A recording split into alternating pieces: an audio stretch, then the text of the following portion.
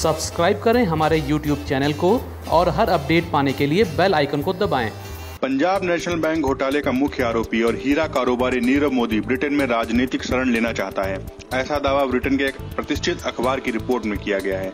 अखबार के मुताबिक, भारत और ब्रिटेन के अधिकारियों ने नीरव के ब्रिटेन में होने की पुष्टि की है। तेरह हज़ार करोड़ रुपए से भी अधिक के पीएनबी घोटाले का मुख्य अभियुक्त नीरव फरवरी से लापता है।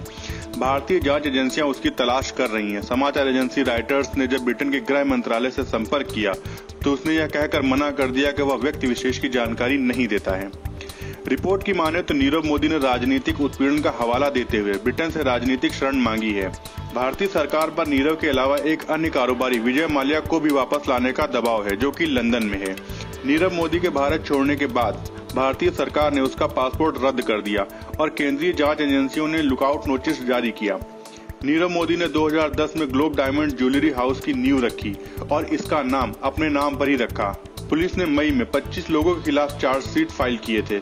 इसमें नीरव मोदी, मेहुल चौकसी, पूर्व पीएनबी चीफ ऊषा, दो बैंक डायरेक्टर्स और नीरव मोदी की कंपनी के तीन लोग भी शामिल थे। न्यूज़ टाइम्स के लिए अभिषेक मिश्रा की रिपोर्ट सब्सक्राइब करें हमारे YouTube चैनल को और हर अपडेट पाने के लिए बेल आइकन को दबाएँ।